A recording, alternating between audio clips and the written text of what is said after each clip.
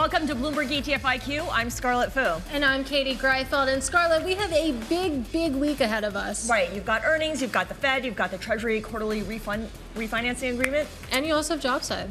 Oh, yeah.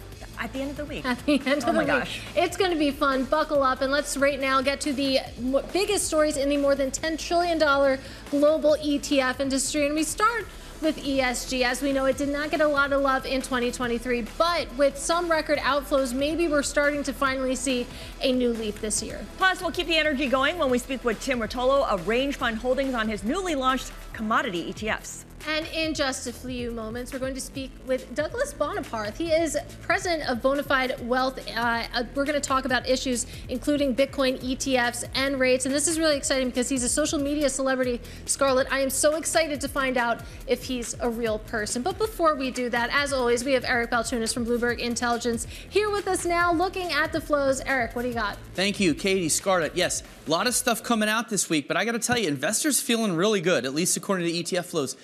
SPY at the top is really interesting. Remember, SPY was supposed to bleed all, all January because of the tax loss harvesting outflows that came in in December. You can see the year to date is 17 billion negative, but it's taken in money. That's a good sign. That tells you the trading crowd actually liking the market. IVE, this is a value ETF.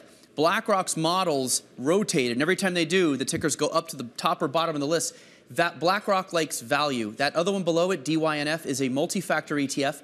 Multi-factor tends a little value-ish. And look, that thing went from 40 million to 2.4 billion just because of BlackRock's model.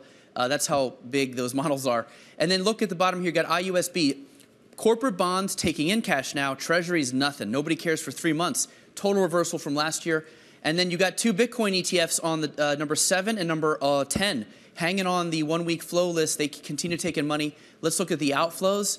Um, you get top of the list, you're going to see QUAL, that's part of the BlackRock rotation. They went out of quality and out of ESGU, which is on number 11, and into value, right? So GBTC, again, that is the other side to the Bitcoin ETF inflows is people got unlocked uh, GBTC when it converted to an ETF. So people leaving that, uh, and then you got a floating rate ETF in there. Rates are going to be a big story, and USMV minimum vol, BlackRock out of minimum vol as well. Let's look at the Bitcoin ETF race since um, it's still kind of front of mind. It's in week three this week, and after two weeks, we have two clear front runners, which would be BlackRock and Fidelity. They are neck and neck right around $2 billion, which again is a ridiculous amount of money for two weeks. That's top 1% among all new ETF launches ever, right? Then for third, you've got a real race here between ARK and Bitwise, over half a billion. And again, that was a little unexpected. We thought one might get like 2 billion and the rest would like be, you know, more middle classish. But you're seeing there is a strong uh, hundreds of millions of dollars in almost six of them. And even the ones down here, again, 23, 50 million for a new launch is pretty incredible. But again, we're all also working with those GBTC outflows. So net net, still inflows, barely hanging on. But for the ones that are, you know, not GBTC, it's looking pretty good so far.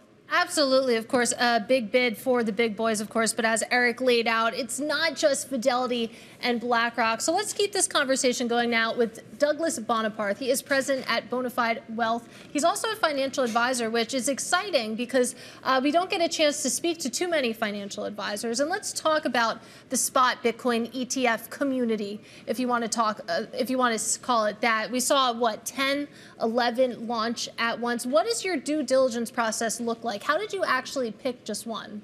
Yeah, so the first thing I usually go for, let's take a look at fees. You know, what are my clients going to pay in order to hold any product? That's number one. And then we want to see the actual reputation of the shop itself. And you got some big boys in here, right? You got BlackRock, Fidelity. You got some players who've been around in the crypto space a while.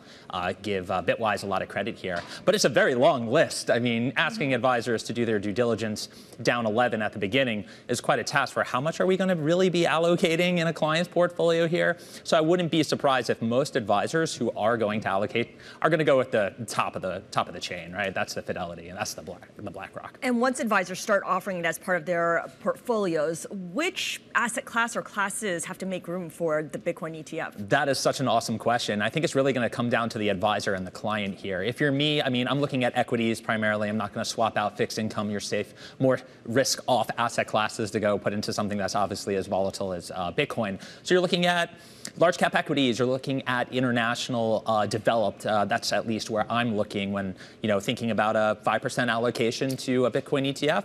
You got the S&P 500, and you got maybe a developed international fund in there. Those are your biggest positions too, so you have the most to draw against. Let's talk about your clients. So, the, these the big question is: Are the boomers going to buy this? So, my mom was over Sunday night. She calls Bitcoin funny money in space. That's her description of it. But she says, I didn't look at it before because the SEC didn't approve. Now that they have said it's okay, I might look at it. BlackRock's involved. Mm-hmm. Do you find that some of your clients, this has changed the game? Are you getting inbound calls? Are you having more conversations about it? Yeah, I didn't expect a lot of inbound calls. I definitely wanted to see a handful of people, particularly baby boomers, who had no interest in moving money to an exchange to buy cryptocurrency to get uh, a position there. Um, I mostly work with mid to late 30 something year olds, and we've been having conversations and educational conversations around uh, cryptocurrency and Bitcoin well before there was a product offering. It was always my obligation to educate my clients.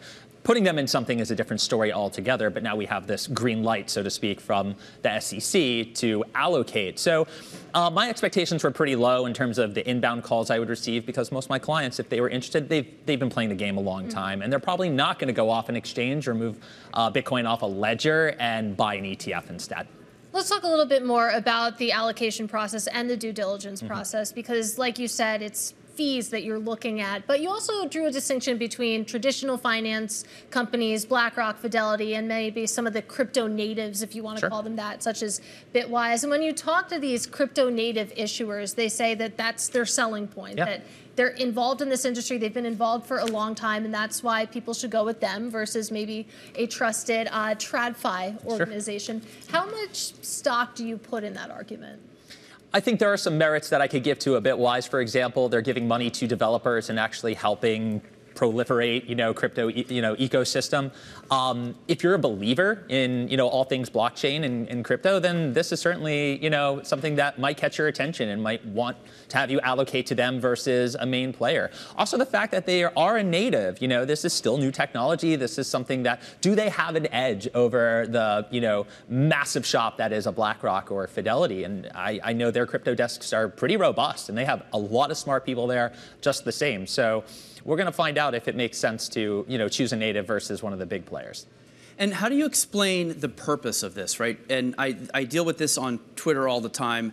There's definitely people who look at Bitcoin as like the currency that's going to be left when society collapses and it looks like Mad Max out there. now, when you talk to boomers, though, I'm not sure that's going to resonate versus, yeah. oh, it's a new digital gold. That's how Larry Fink positions it. How do you talk to them about this? Do you go as far as like, hey, this is a hedge against like the collapse of society? Or are you more just like, hey, look, it's a little hot sauce. It's an interesting currency. A lot of smart people are involved. Like, how do you uh, talk about it? Yeah, I think two things can be true here, right? I do view it in its most simplistic form as digital gold, as a digital store of value. Now, granted, store of value and the price action of Bitcoin might not go hand in hand. But also, you know, the room for alternative investments in a portfolio, I think clients are always seeking for things that aren't, you know, correlated or have the ability to produce alpha, you know, to a degree. These are things that clients will always have, you know, some appetite for. So these two things, like, hey, new asset class, can I, you know, partake in this? Maybe knock the FOMO out of the system? And will this actually add value to my long-term investment strategy? I want to broaden out our conversation here and talk a little bit about equities overall, sure. uh, big cap names in particular, because five of the Magnificent Seven names report this week. And of course, tech has continued to uh, be the winners of this stock market. Do you go straight for QQQs? Do you stay with that, or do you want to broaden things out and stay with the S&P 500 through SPY? Yeah, it's really interesting. You know, I, I look at clients who work for these companies, and they have plenty of exposure through their incentives, and that's a different conversation for them. They probably have, you know, concentration risk within those positions. Um, for clients who are feeling more risky and want to have that exposure, QQQ is really the best way to go about it. I don't think anyone's been disappointed if they've uh, had an outsized position to that ETF last year. You know, you crushed the S&P 500. Um, so rarely do I find myself buying individual uh, equities, you still have to choose amongst, you know, is it Microsoft that's going to be better than Google, better than, you know, Netflix or Nvidia? And talking Nvidia, you know, it just crushes everything here. QQQ is going to give you that exposure here. Um, as vanilla as they come. We want broad exposure that we can stick with for the long term. People are going to get very excited when one issue runs or doesn't do what it, it, it, you know, what they want it to do. Like, why didn't I go 5x on my tech stock? Well, like 2021 and last year aren't necessarily, mm-hmm. you know, normal when we think about how performance usually uh, goes with uh, positions like these. And before we let you go, if you're as vanilla as they come, should we talk about bonds? How are you talking yeah. to your clients about bonds? What do they want to know about bonds? Bonds have been uh, pretty weird over the past year or so. They really have. Um, you know, rarely do we make calls or get as tactical as what I'm about to share with you, but I took the Fed at their word that they were going to raise rates aggressively uh, over the last 18 months up until the point that we're at right now. Um, it turned out to be a good call, so you went short duration or stable you value there. The don't fight the Fed. I mean, it's pretty much just a classic thing to do. I'm going to write that down. That's yeah, don't fight the Fed. Quote Doug Boneparth. Um, with that being said, uh, you, you got to get it right twice, right? You can't just say, hey, we got it here on the front end. Now we got to take the Fed at their word that they're going to cut rates later this mm-hmm. year. So you got to rotate out of that short duration into the long duration stuff if that's what you believe. And we're in the process of doing that or have been doing that. So, you know, Godspeed to us. Hope we get that call right. But I think bonds overall are attractive. Very rarely do we find an opportunity to get appreciation and stability right. in one asset class. So, hey, let's look at fixed income. I mean, geez, here's a millennial financial advisor talking about fixed income like that. Who would have thought? Who would have thought? Uh, this was great. Hope you come back soon. That, of course, is Douglas Boneparth of Bone Fide Wealth. And this is Bloomberg.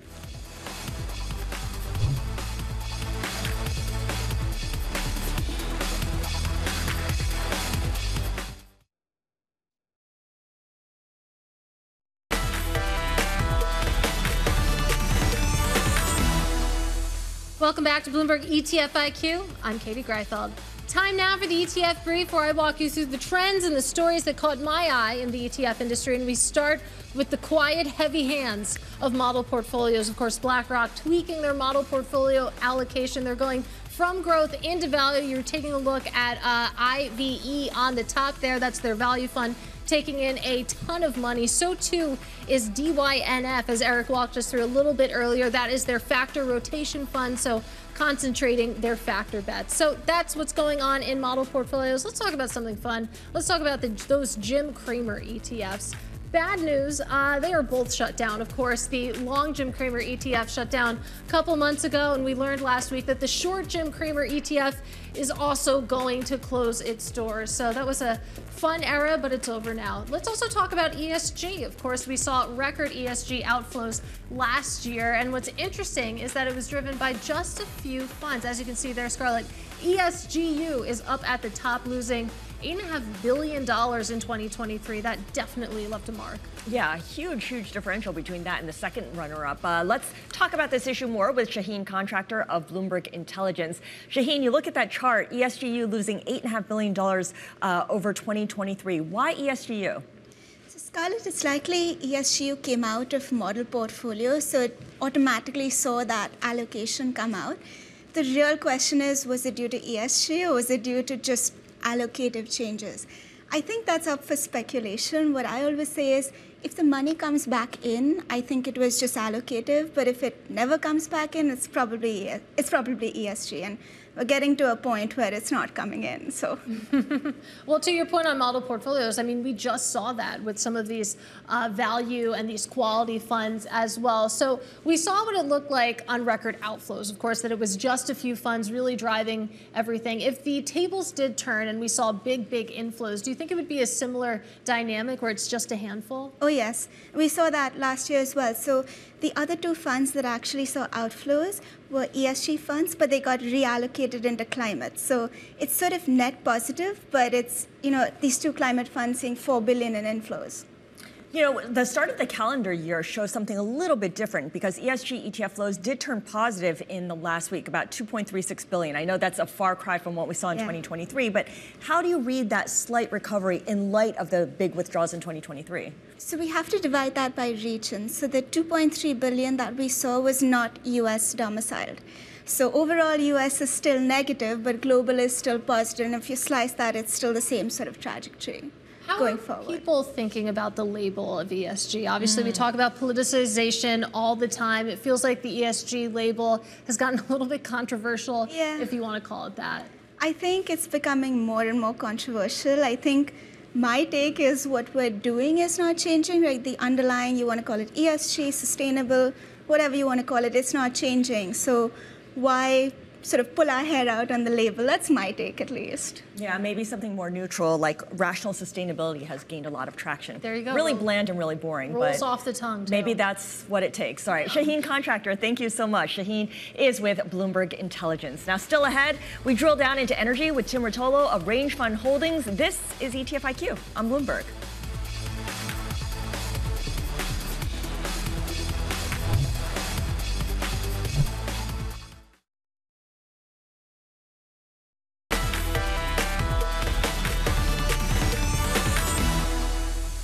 Is ETF IQ. I'm Scarlet Fu along with Katie Greifeld. And Eric Balchunas from Bloomberg Intelligence back with us now for today's drill down where we focus on one ETF. Eric, hit it. Katie, today we have coal. This is a brand new ETF. Uh, this is one from the Lazarus list. This was an old E ETF, KOL, was out for, I don't know, 15, 20 years.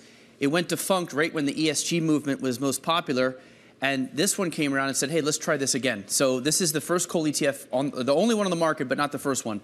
And we look here, it's um, going to be uh, new. It's just came out, 85 basis points. A little, little expensive, I think, for a, for a theme ETF, but this thing is going to have volatility, so it could have a shiny object moment. Uh, coal has been on a real run lately, and the, the pitch here is, hey, you need fossil fuels as a base load to actually do clean energy. So they're trying to work in clean energy to the pitch. Let's look at the um, cross section of the ETF here. And a couple interesting things. First of all, it's not just US. A lot of theme ETFs go globally. Big allocation to Australia outside of the US here. And also, check this out the PE on this thing is five. And this is after a 150% return. That's how low and beaten down this area was. So if you are a value investor, that has to make your eyes pop out. Let's look at the performance of the index. Remember, the ETF just came out. So here's the index versus TAN, which is clean energy stocks, and XLE, which is energy stocks. And by the way, there's no overlap between this ETF and XLE, zero.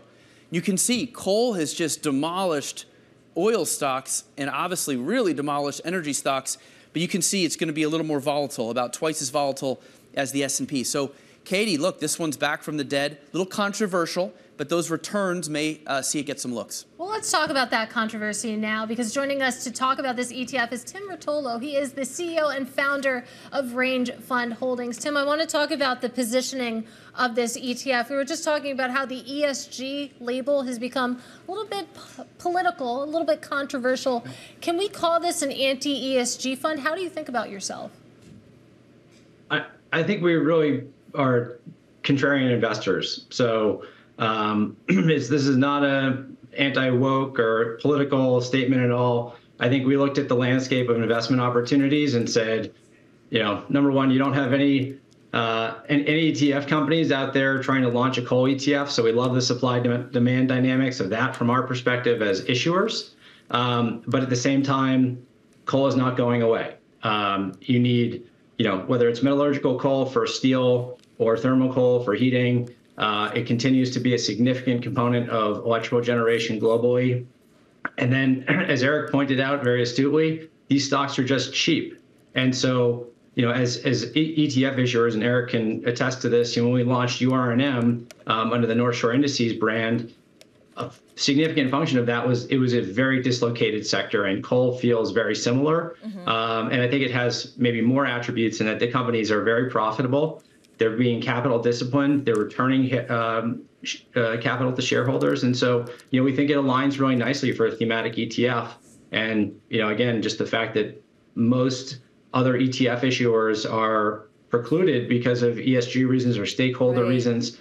Um, there's just uh, you know we, we want to run towards those opportunities and and that that really kind of encapsulates the other products that we launched as well So, Tim, I, I think when you said coal is not going away, we all wrote that down because that's such a notable thing to say in this day and age. Big picture, are you betting on energy sources changing or largely staying the same then? i think this is a bet on the status quo um, that's not to say that coal use will not decline over time Um, but electricity demand is going to continue growing. And until we figure out how to get uh, intermittent power sources like solar and wind to, um, to to be on all the time, you know, when the wind's not blowing and when the sun's not shining, you're going to need sources of power, whether it's coal or LNG or nuclear. And in developed nations like India and China, um, you know, coal continues to be a significant portion of their electricity demand. And so, you know, we're, we're going to make a bet that the status quo is going to to main, uh, just stay the way it is. Um, and there, there are other parts of the market that I think it makes a lot of sense to take bet on. You know, there being significant shifts, like biotech is an area that we think is really attractive and has, you know, some value um, components. But um, you know, in the energy sector, we think the world is going to continue on the same path that it's been on for you know many decades, which is more Right. demand and and and more fossil fuel use. So, Tim, let's talk about the other one that's part of this new launch, Nukes, N-U-K-Z, which is a nuclear ETF. Um, you talked about URNM, which you launched four years ago. It's gone up 377%, Katie. That's triple the Qs, and we know the Qs has crushed it. So, great return. Now you're coming out with this new one. I guess, you know, what's the difference if somebody knows you as the URNM guy? What is this new one, and how is it different than that one? Sure. So I think we're entering in a new phase.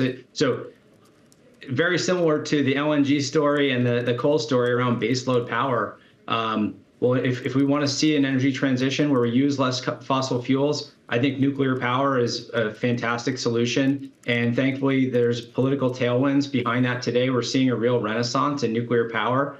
And we wanted to provide an option for investors to be able to play nuclear power demand growth and the ecosystem around that instead of just pure uranium mining. With uranium mining, there continues to be a huge supply deficit. All the demand growth for the nuclear renaissance is going to make that story really attractive. Um, so, so nothing against uranium, um, but we think that there's uh, you, you know there's a couple of components that you don't get right, like the small modular reactor technologies. Um, some of the services businesses Right. that we're going to support the nuclear renaissance, some of the new advanced fuels. And so we really wanted to take an approach that also de-emphasized the mining risk Right. associated with uranium, uh, but give give a broader swath of investors um, a way to play this nuclear renaissance. And again, you just look at the political tailwinds coming out of COP28. Um, you know, 20, 30 nations uh, saying that they're going to try and triple nuclear power. Well, there's a tremendous ecosystem that needs to be built up in order to allow that to occur. Right. And so that was really the the thought process behind this product. All right, Tim, gotta leave it there. Really great to get some time with you. Of course, that is Tim Rotolo of Range Fund Holdings talking about coal and nukes. And if you just can't get enough of ETFs, a reminder that you can listen to Eric and Joel Weber's On Trillions. It's their podcast that covers the industry. But that does it for Bloomberg ETF IQ. I'm Katie Greif along with Scarlet Fu and Eric Balchunas, and this is Bloomberg.